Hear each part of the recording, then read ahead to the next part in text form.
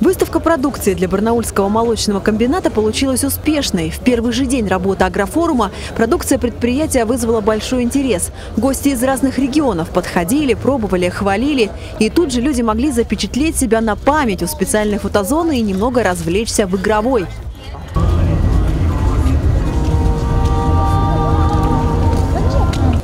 Большое внимание гостей Дня поля было приковано огромному разнообразию сыров. На одной из площадок люди могли их продегустировать. Но и другая продукция пользовалась спросом. Сегодня на рынке она представлена под несколькими уже известными алтайскому покупателю торговыми марками «Лакт», «Модест» и «Молочная сказка».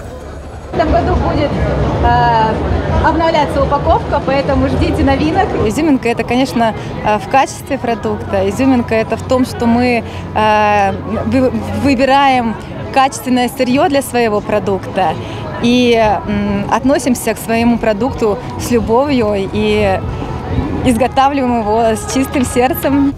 Молочная сказка свою продукцию поставляет в большинство регионов России. Ассортимент регулярно обновляется. Так, в ближайшее время покупатели Алтайского края и других территорий смогут оценить творожки с новым вкусом. Какими они будут, пока держатся в секрете.